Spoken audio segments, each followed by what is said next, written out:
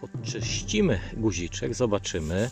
Ja już widzę, że wychodzi spod niego korona. Ładny pruski guzik.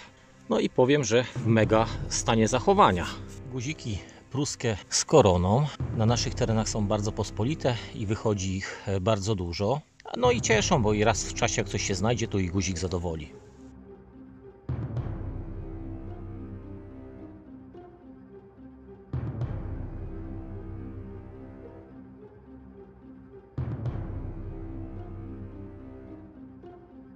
Trafiłem w miejsce, gdzie spodziewam się głębiej zalegających przedmiotów.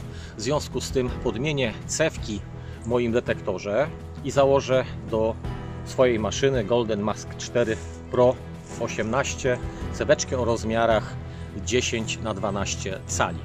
Detektor, na którym dzisiaj prowadzę poszukiwania, pracuje na 18 kHz i w związku z tym cewka o tak dużych rozmiarach będzie już maksymalną, jaką można użyć w tym detektorze, żeby zachować kompromis głębokości i separacji podczas poszukiwań. Większe cewki zwiększą nam skuteczność poszukiwań głębiej zalegających przedmiotów, natomiast tracą na separowaniu. Nie są tak szybkie w rozróżnianiu od siebie leżących blisko przedmiotów. Czyli cewka 10 na 12 cali jest optymalną ceweczką w tym analogu.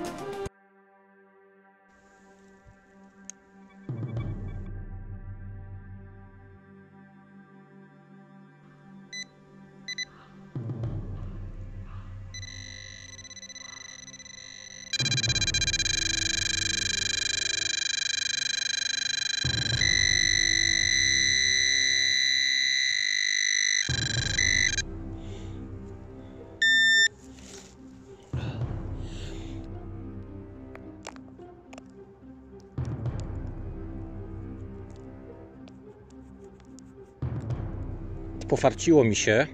Jest to obrączka z grawerem, prawdopodobnie złoto o niskiej próbie. Od środka widać złocenia, natomiast tutaj na zewnątrz jest to e, wytarte. E, ciężko mi doczytać tą grawerkę. E, który to jest rok? Zaraz zobaczymy.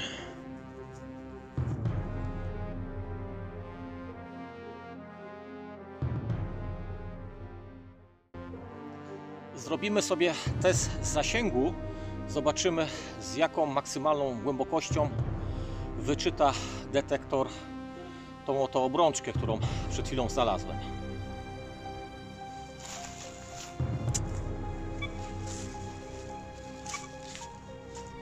Piętnaście centymetrów na tej głębokości jest ta obrączka zakopana.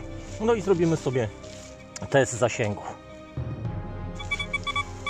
15 cm i pewnie widzi tą obrączkę. Test wykonuję w trybie grunt balans manualnym, a teraz przełączę na automat. Też widzi.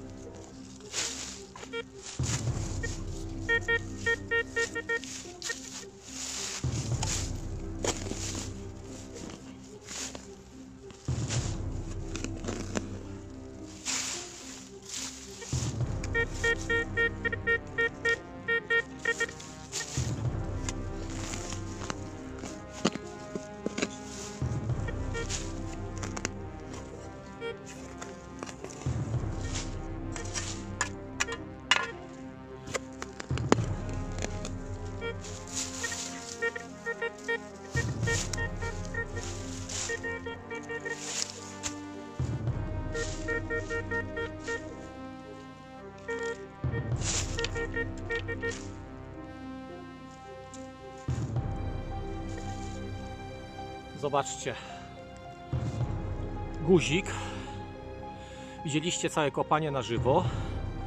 A zaraz Wam pokażę w jakiej głębokości ten guzik był. Guzik średnicy gdzieś około 3 cm był na takiej głębokości.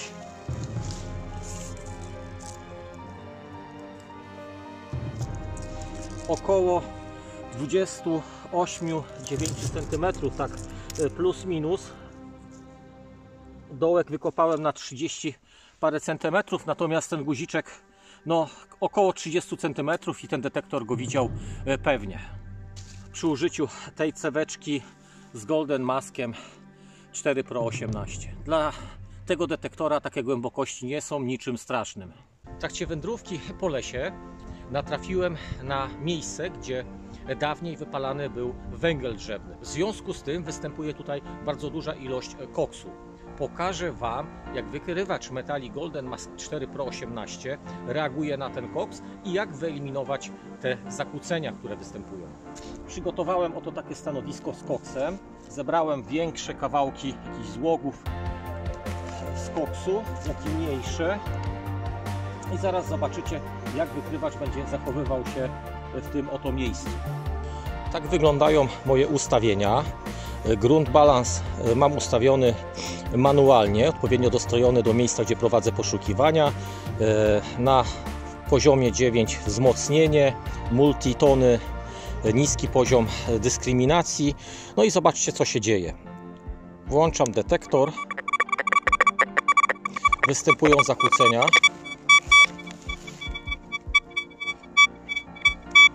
Wykrywacz sobie popiarduje Słyszycie to na pewno. Daje dziwne sygnały, takie, które no, powodują dyskomfort chodzenia. Zobaczcie, co, co należy zrobić. Przełączyć tylko tryb grunt balansu na auto i już ten detektor będzie pracował bardzo stabilnie i będzie spośród tych dźwięków, które wcześniej się wydobywały, y, można wyciągnąć inne cele, jeżeli się będą znajdowały. Zobaczcie, jaka cisza i spokój w tej chwili. Wykrywacz w ogóle nie reaguje y, na ten koks, wystarczyło tylko y, przyłączyć go w tryb automatycznego gruntu balans. Zastosowane są odpowiednie filtry, no i wykrywacz pracuje bardzo stabilnie.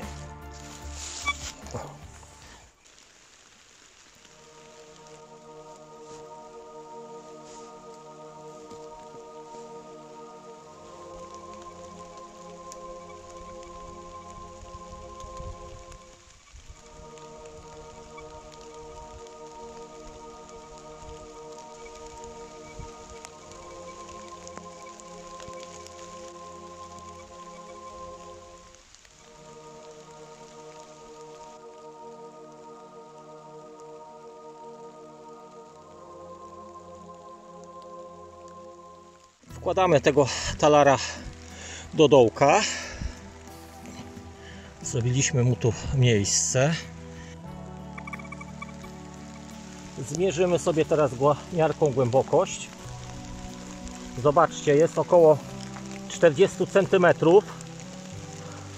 plus minus, czyli test robimy dla 39-40 cm. Test zasięgu dla tej srebrnej monety zacznę na grunt balans manualnym, wzmocnieniu na 8, no i niskiej dyskryminacji, tak jak zaleca tutaj producent. Czyli zaczynamy nasz test.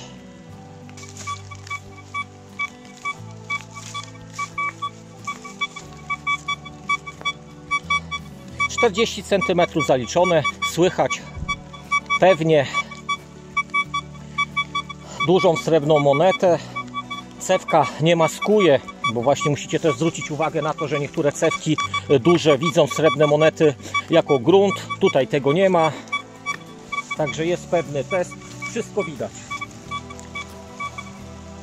Test zasięgu dla dużej srebrnej monety wyszedł bardzo dobrze. Cewka ta nie traktuje srebrnej monety jako gruntu, czyta ją poprawnie. Głębokość zasięgu dla tego wykrywacza Golden Mask 4 Pro 18 z cewką 10 na 12 cali wyszedł niesamowicie dobrze. Ja na dzisiaj będę kończył już poszukiwania z racji tego, że rozpadał się deszcz.